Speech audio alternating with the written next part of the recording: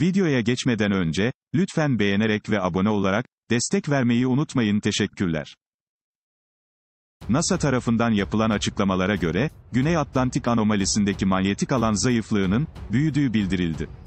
Açıklamalara göre, söz konusu çökme, batıya doğru ilerliyor.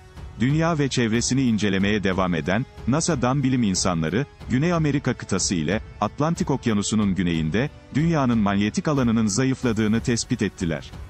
Bilim insanlarının açıklamalarına göre, Güney Atlantik anomalisi olarak bilinen bölgesel zayıflama, batıya doğru hareket ediyor.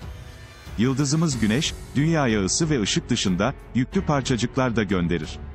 Dünyanın manyetik alanı ise, bu yüklü parçacıkların gezegenimize ulaşmasını engelleyerek, yaşamı mümkün kılar. Yüklü parçacıkların dünyaya ulaşması, hem yaşamı tehdit eder, hem de günümüz medeniyetini mümkün kılan elektronik cihazların, sorunsuz çalışmasını engeller.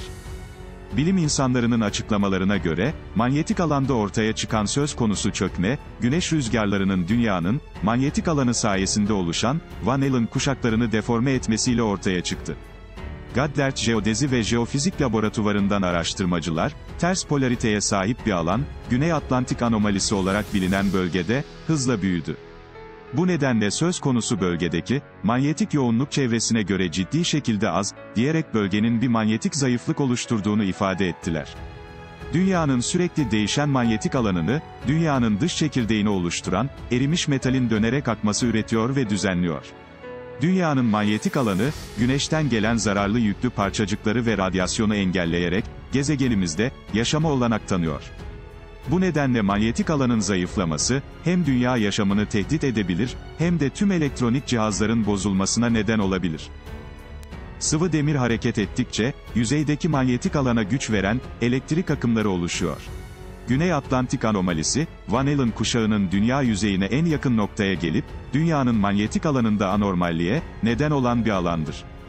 Dünyanın bu bölgesindeki, manyetik alanın zayıf olması nedeniyle içeriye, zararlı yüklü parçacıklar girebilir ve bu durum, yörüngedeki uyduları normalden daha yüksek radyasyon seviyelerine, maruz bırakarak elektronik cihazların, aksamasına yol açabilir. Araştırmacılar, manyetik alan zayıflamasını daha yakından incelemek ve çözüm üretebilmek için çalışmalarına devam ediyor. Yörüngedeki uydularda ve uzay araçlarında, son zamanlarda yaşanan sorunlardaki artışın, dünyanın manyetik alanının zayıflaması nedeniyle, meydana geldiği anlaşıldı. Bilim insanları, dünyayı güneş partiküllerinden ve kozmik radyasyondan, koruyan manyetik alandaki zayıflamanın, artarak devam ettiğini kaydediyor. Ne var ki, buna neyin sebep olduğu hala çözülemedi.